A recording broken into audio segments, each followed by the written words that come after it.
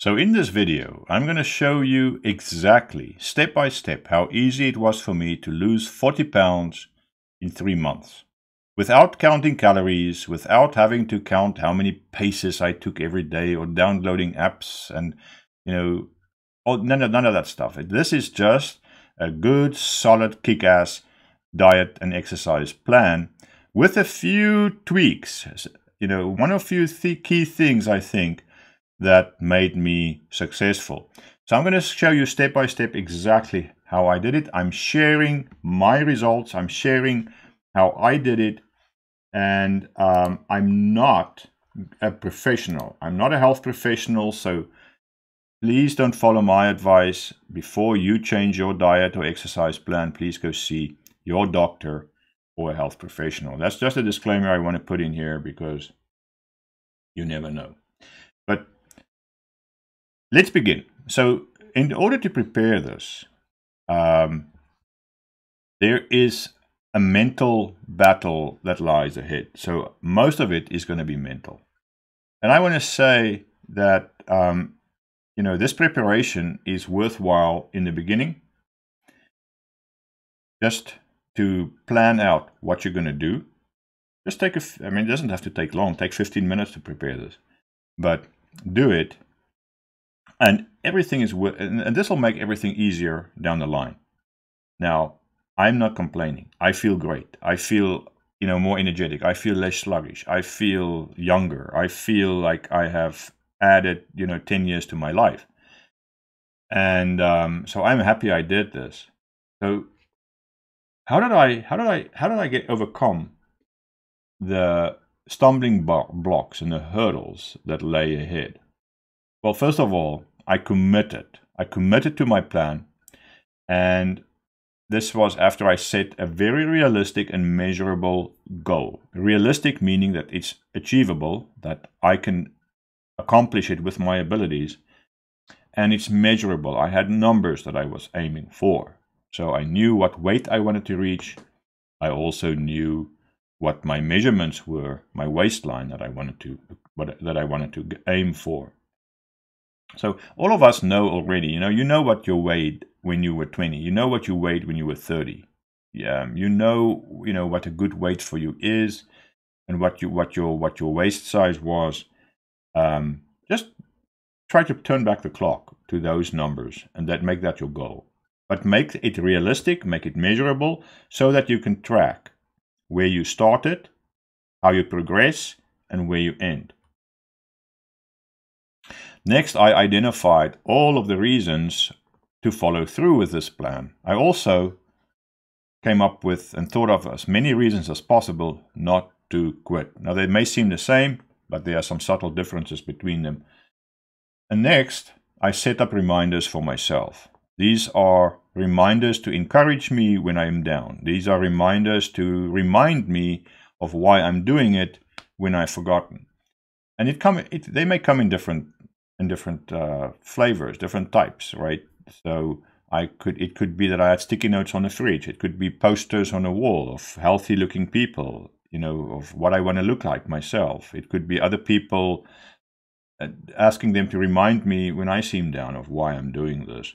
And it could be, you know, anything that will give you that positive reminding of what there are good reasons for following through with your plan and to encourage you. Motivation, encouragement is very important. Next, I planned out a specific strategy for my diet and my exercise plans. Um, a strategy for diet and a strategy for exercise. And I'm going to give you exactly what I did. So just hang on. Now, what I did not do is I did not rely in my plan on willpower. Willpower fluctuates because you know you we our we are not we are not uh, even keeled all the time. And sometimes you're going to feel less uh, encouraged, you're going to be discouraged, or you're going to feel less motivated, or you're just going to be down altogether. And this is where you may stumble. So, willpower is not the way to go. The way to go is to fill what you're going to do with things that's not torture. You don't want to torture yourself. So, if you're looking at this as torture, you're looking at it the wrong way. What you want to look at it, at it as a fun challenge. This is a fun project. And you're going to pick activities and foods that are fun for you, that you're going to enjoy, but that are all healthy and adding to your, to your uh, overall health.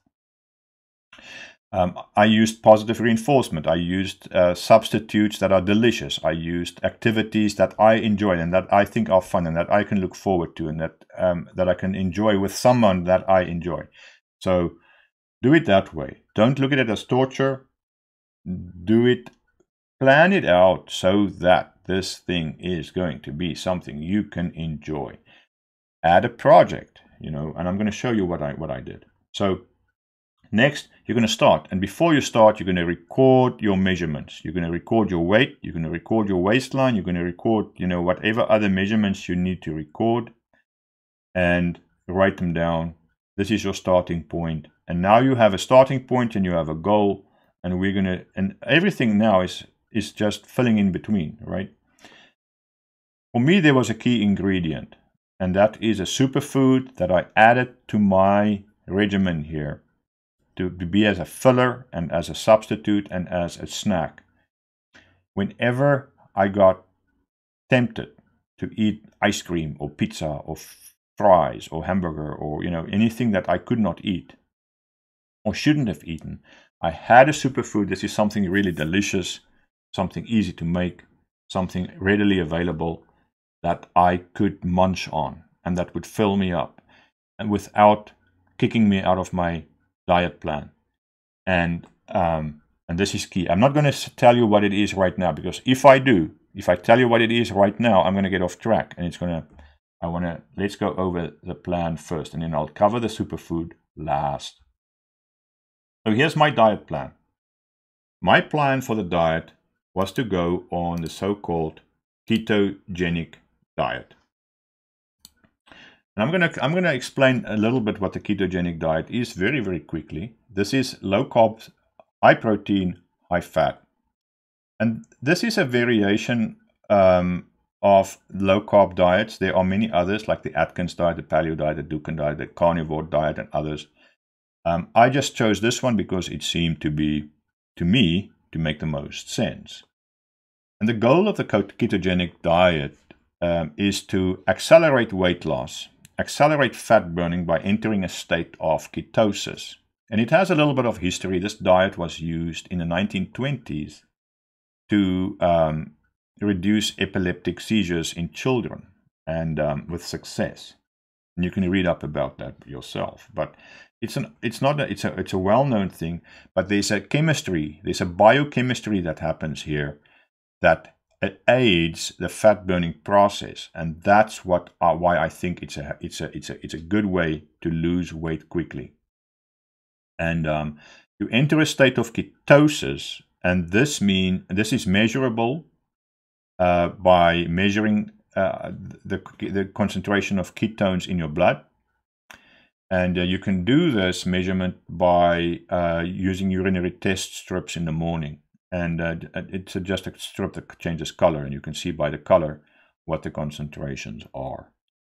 And um, so let's let's just very very briefly the ketogenic diet induces accelerated weight loss by depriving the body of glucose and forcing it to burn fat for energy okay so this is what we want we want our bodies to start burning the fat that we don't want, the unwanted fat, instead of, you know, the food in our stomachs. Now, after three or four days of low carb intake, the body enters this state of ketosis and uses ketones as fuel. Now, what are ketones? Ketone bodies are produced in liver cells by breaking down fatty acids. And ketosis, the level of ketosis, the concentration levels, the time it takes to enter ketosis, all these things varies from individual to individual. And careful dieting will prevent harmful ketone levels. But there is something you want to avoid if you have, particularly if you have type 1 diabetes. Ketoacidosis is a dangerous condition caused by excessive ketone buildup in the blood. It often occurs in people with type 1 diabetes when they go on low carb diets due to insulin deficiency. But this can rarely happen in non diabetics or on very low carb diets. So hopefully you're not you're not uh, uh, susceptible to this. But again, it's always a good idea to talk to your doctor before you tackle a new diet or something uh, pretty radical like the ketogenic diet. Now, when you go on the ketogenic diet, you probably do want to do a little bit of research and study what kind of foods are keto friendly. Keto friendly meaning that it's going to maintain ketosis for you and it's not going to kick you out of ketosis. Uh, ketosis, like we said in a previous slide, it takes about three or four days. Once you start limiting your carbs, it will take three or four days to enter into ketosis. So it's it's it's it's difficult. It takes a while, and in that in that three and four days, you cannot cheat. If you cheat, you're not gonna. You start over. You start from scratch, right? So so you have to be very uh, disciplined to enter ketosis. This is really important. This is why the superfood is important. This is why the superfood is important because that discipline, maintaining that discipline, is hard. This is the hardest thing you're going to do. Um, you are going to be tempted several times a day to do to eat something or to or to drink something or to take something that or just to taste something that is easily going to kick you out of ketosis. So let's look at keto friendly foods. Um, you are obviously aiming for low carb diet, for low carb foods.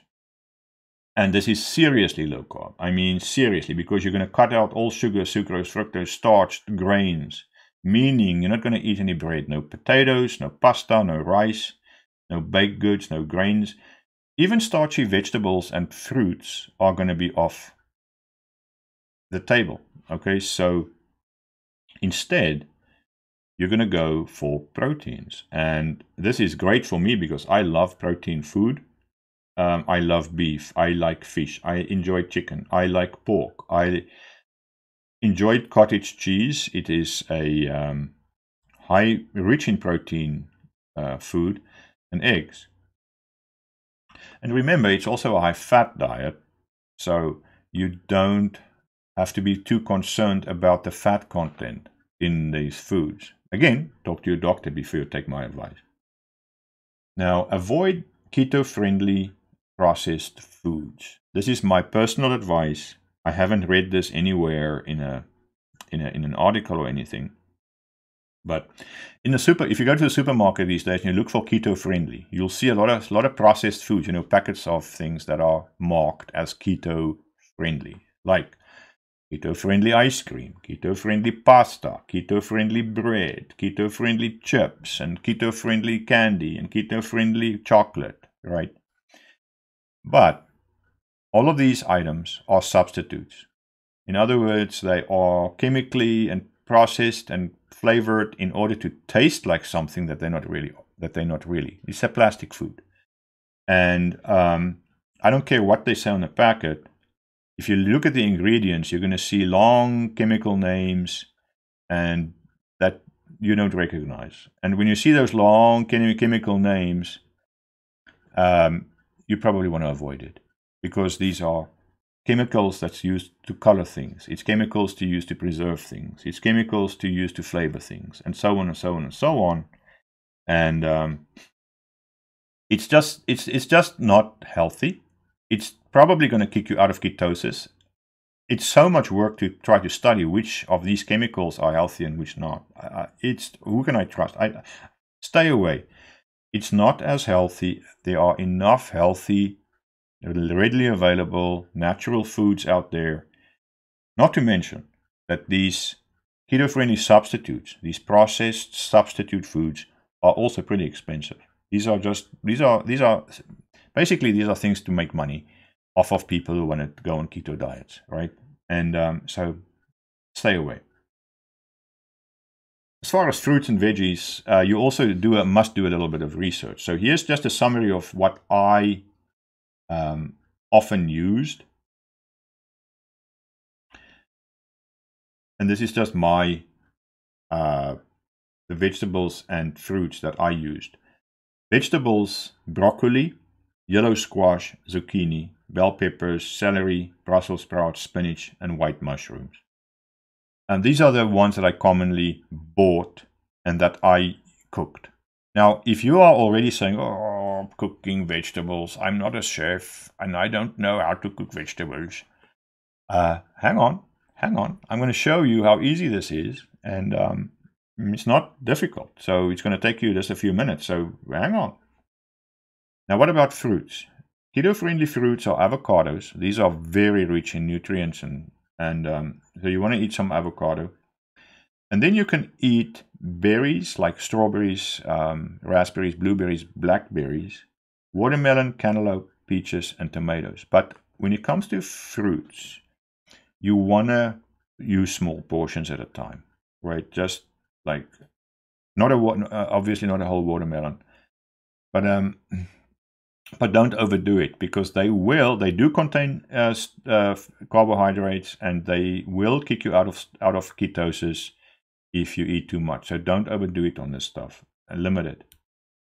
You want to avoid a lot of common um, vegetables and and uh, fruits like apples and pears. They have, they have too much starch in them. Uh, carrots, bananas, corn, sweet corn, pineapples, grapes, cherries. You need to stay away from, unfortunately.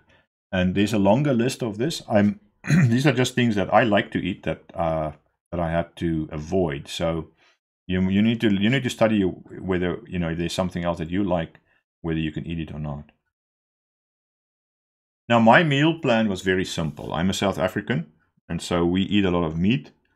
And so I have a gas grill, and I use that all the time to cook steaks and sausages, and fish and chicken and and pork. And um, so I just continue doing that. So here's what I cooked. I cooked New York strip steaks, ribeye steaks, Italian sausage, South African sausage, hamburger patties, uh, chicken, salmon. I, cook, I, I cooked trout. I cooked pork ribs. I don't have it on the list there, but I cooked that as well. Uh, all delicious stuff. Now, what I did not do is I put I don't put barbecue sauce on it. You know, honey barbecue sauce, or these things. Again, they contain sugar. They'll kick you out of out of ketosis. I don't put that on. But herbs and spices as much as you like. Air fryer. I used an air fryer to cook chicken wings and make my own chicken wings. Chicken wings, chicken breasts, chicken drumsticks. Another thing that the air fryer is good for is, um, you know, if it's raining, you can't cook outside, or you or you just want a quick meal, and you want to get some veggies in, then buy a packet of frozen, chopped up stir fry vegetables in the supermarket. You know, just regular vegetables chopped up. They call it stir fry, but it's it's there's nothing in it except vegetables. And um, make sure it's the right kind of vegetables and throw that in your air fryer and you can and you just have a very quick meal you don't have to do the chopping yourself you can just buy chop in advance then i uh, use a slow cooker for a lot of food for a lot of meals and this is really really easy now you can buy the the the, the, the vegetables pre-cut and pre-chopped for you but it's cheaper to just buy the vegetables fresh and you know spend five minutes just chopping them up it, it doesn't take long at all. So one clump of broccoli, you cut off the stems, throw it in a, in a, in, a slow cooker. Um, I would take one zucchini and chop it up and throw it in there. Or uh, a yellow squash. There's not enough room in a slow cooker for a lot of different things. So you have to, you, you learn quickly how, how much you, you can buy to fill it up. Then I would chop up, you know, mushrooms throw them in there. I would one garlic clove, chop that up fine, chopped, and throw that in there. Maybe a few one stick of celery that I would chop up. Um, I would put in some some ground beef, uh, and the ground beef I just cut these with a knife into fairly large pieces. You know, like um, meatballs, and throw them in there, and you know give put some garlic salt, some chili pepper or some cayenne pepper uh, on top of it all. And if there's any room left, then I would fill it up, fill the pot up with with with frozen stir fry vegetables, right? And then fill it up with water to about an inch below the brim. Turn it on high, leave it for three and a half to four hours, and by the time it's done, you have meals lasting you two days, maybe even three days. Two and a half days is typical for me. And so when it's cooled down, you can put it in the fridge and just take out and heat it up in the microwave. And you've got a full meal. And you can eat as much of that as you want because it's it's just going to um, fill you up, but it's not going to kick you out of ketosis very easily. Then for uh, break, you know, for other types of foods, I had eggs, uh, yogurt, Greek and plain yogurt, not sugared yogurt, cottage cheese, nuts. Um, but again, these things you have to portion out. Be careful you don't eat too much of that. And then my superfood. So, to, and this superfood will address any hunger pangs and cravings and be a filler. And this is absolutely, this was absolutely essential for me. And again, I make my food delicious. Whatever I do, I'm going to make it delicious. I'm going to watch my sodium levels so I don't over salt and get my blood pressure up. And I am, of course, um, supplementing with, um, you know, vitamins and, you know, vitamin C, vitamin D, vitamin B2, um, potassium, magnesium, and um, calcium. Um, so I'm, I'm, I'm supplementing with, with vitamins and so on. Definitely, I want to keep, I want to make my food as, as, as delicious as possible. I want to look forward to eating it. And I also want to look forward to making it. So making it, if, if making it takes a long time, I'm not going to want to do it. But if it's easy, yeah, why not? Okay. So my exercise plan, let's get to that, was very simple. Um, I exercised six days a week, rested one day, and every day I just exercised no less than 20 minutes a day. So of those six days. So 20 minutes a day for six days with on Sundays typically I would rest and um, at least five minutes of cardiovascular exercise during those days. So this means cardiovascular means I'm going to get my heart rate up, I'm going to get my breathing up, I'm going to work up a sweat. Going to really exercise and make work up a sweat. And I'm not going to play, right? I'm going to I'm going to use enough weight to that my muscles are going to ache, but I'm not going to overdo it so I can break, you know, tear a muscle or something. you know, when you when you reach my age, you can't do that anymore. So um, also, I focused on making sure that my my large muscle groups got exercise. These are, you know, your back muscles, your stomach muscles, your quads in your legs. Particularly the quads. The quads are the biggest muscles. And so if you want to burn fat, you want to um, exercise those muscles to burn calories. Now, I what I did for my exercises is some days I went swimming and then sw- swam laps in a pool while I was playing with my son. But most days I went into my basement and I have a small home gym there and I just did some weights and some rowing. And um, this worked fine for 20 minutes. I mean, and six days a week. Now, I'm not a proponent of saying you have to do what I did and this is the exercises. This, is these are the exercises. No, pick something that you're going to enjoy. Pick something that's convenient for you in the neighborhood that you live, for your lifestyle, your to your liking. Whether it's walking, excuse me, walking or hiking or biking, stationary biking or actual, you know, biking outside, just not motorbiking. That's not exercise, believe it or not. I love motorbiking and it feels like exercise, but it's not. It's lazy.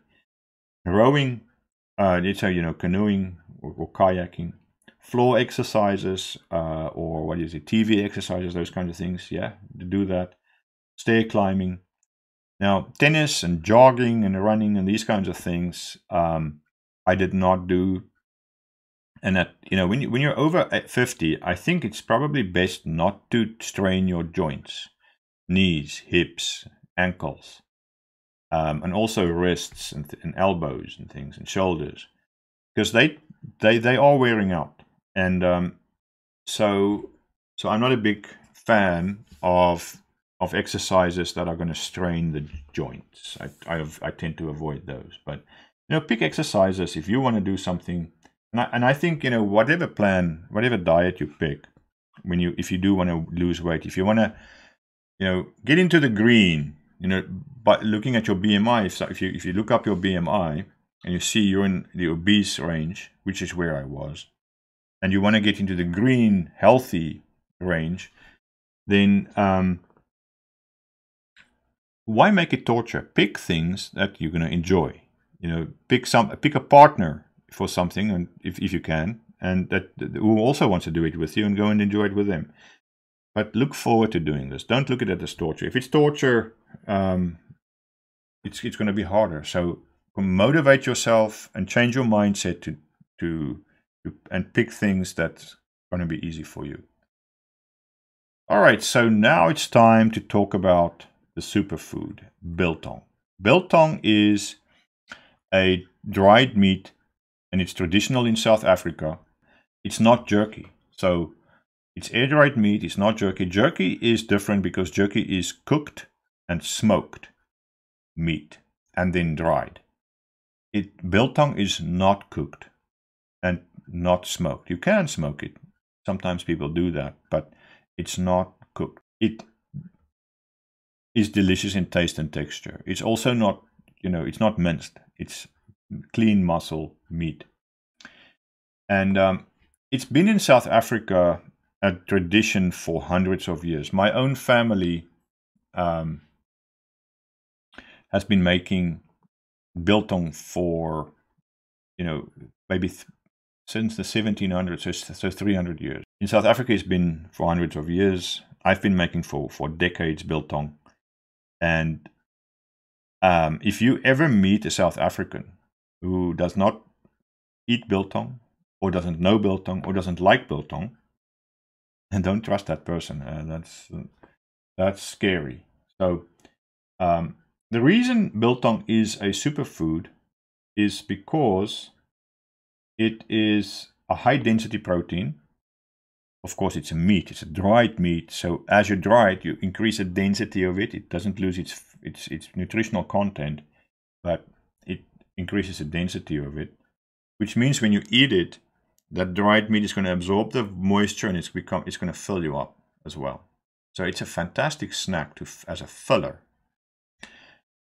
and um, it's also healthy. It does unlike jerky. Jerky contains a lot of nitrates and preservatives and gluten. Um, in biltong, you're not going to find any of that. No glutens, no no preservatives, no nitrates, no chemicals. Just meat. And it has a long storage life. So you can basically, um, you know, cut up some biltong or just have a piece, throw it in a bag, throw it in your drawer, and when you're hungry, you know, eat some of it. And um, you can eat it, you know, next week, next month, and you'll be fine. Um, not that the stuff can last that long because it's so delicious that you don't store the stuff for very, very long where can you find biltong? You can buy biltong on Amazon, on the internet. You can buy it at, uh, I think Walmart has been carrying it. Kroger has been carrying it. You know, supermarkets have been carrying Aldi's. Um, I've seen biltong at Aldi's. but it's it's super expensive. Biltong is super expensive because it's such a high quality um, cured meat, and um, it's easier and quicker and much more fun just to make it yourself. So um, it's quick and easy to prepare. It takes a while to dry, but the actual human effort to make it, to prepare it, is nothing. Okay. If you are comfortable slicing some meat with a with a sharp knife and doing a marinade, then you can do this. That's all you need to do. Is just slice slice meat and marinate it, and um, and then you are good. And that along with cleanup, takes five, 10 minutes for five pounds. And that's my method. I will show you in a video how I do that. Um, I've, I do that all the time. I take less than five minutes, uh, less than 10 minutes to make five pounds of biltong. And I have in my dryer, I use my dryer like a conveyor belt. So I will make two and a half pounds or five pounds at a time. And then I would put it in the dryer and all the other meat move up. So meat that are the driest are taken out. And usually I don't have to take out any meat because I've already eaten enough that when I put meat in, you know, I just shift the other meat up. But So, so I always have a supply of really of, of dried biltong, always, and um, I just keep adding in one end and taking out the other end. So that works fantastic. And um, I don't know if I've mentioned this, but cleanup is a breeze. There is virtually no cleanup. The only cleanup you really have with my method is your knife and your cutting board. Um, other than that, there's really nothing. There's nothing to clean. So how easy is that? You just, you know, wash off a, a cutting board and wash a knife. Easy. So um, really no excuse. I don't know if I've mentioned this, but it's delicious. Taste and texture is absolutely marvel for. And um, the problem with biltong is that other people want to eat it. Uh, when you make biltong, it tends to disappear, and other people tend to steal it and eat it. And when you get there, there's less than what you were looking for or that you expected. And sometimes you're the culprit. Sometimes you're the one that eats that eats too much of it. So, but it's fits in so well with a ketogenic diet that you can use this. You can keep keep this in a car, keep it you know in your office, keep it around. And when you are when you have a craving, pull out some biltong, whether it's ice cream, whether it's chocolate, whether whatever it is. So in conclusion, I just have a few remarks. One is that I think this is quite important, is I believe, and this I have no, you know, academic backup. I haven't read any journal articles to back up this statement, but I, I my my personal recommendation for me was to avoid prolonged ketosis, and um, not to prolong it beyond a week. I don't think it's healthy. I don't think it's healthy to stay in ketosis for a long time. Um, I could be wrong but I think it strains the body. And um, so I my results speak for themselves. I don't think you need to prolong ketosis, but I think I think it's healthier not to prolong it past a week. so once a week or once in two weeks, I think you need to get out of ketosis, and that's what I did. Um, also, people complain on. I've I've read that there are um, a lot of instances where people say they experience constipation uh, from the ketogenic diet.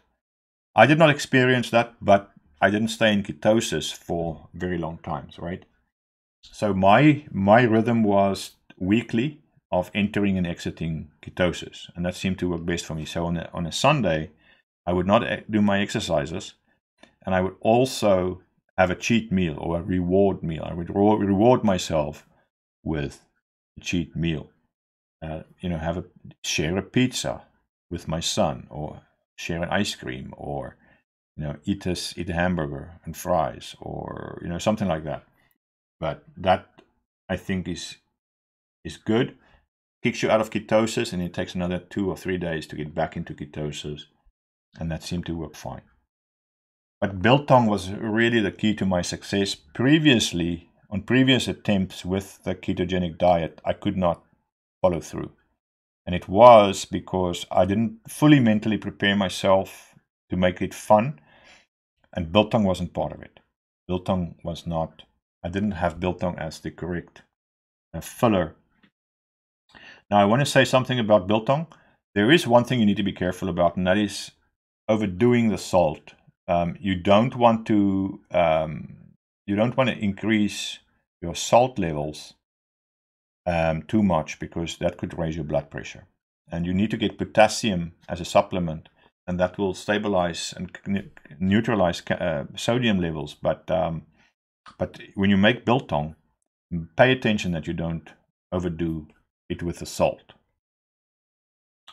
I also, in my biltong setup, like I mentioned, I have the conveyor belt setup. So, you know, I, fresh meat comes in one end, dry meat comes out the other end, and the dried meat had been in there for you know six days or seven days.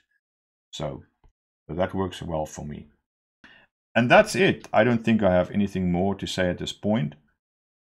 Um, I hope that was beneficial to you, and uh, you know that's that's my story. That's how I lost 40 pounds. I'm still on the diet. I'm still doing all these things. I haven't stopped, and I think I can probably continue this for for for some time. I think you know when when will it when will I inter when, what will interrupt it? it? It'll get interrupted if I get sick, or if you know something I have to go away, or or something happens you know where I can't get to all the things that I have to do, and something interrupts in life, and that kind of thing happens. But uh, if that happens, then I'll just get right back into it uh, as soon as I can. So, thanks for watching. See you next time.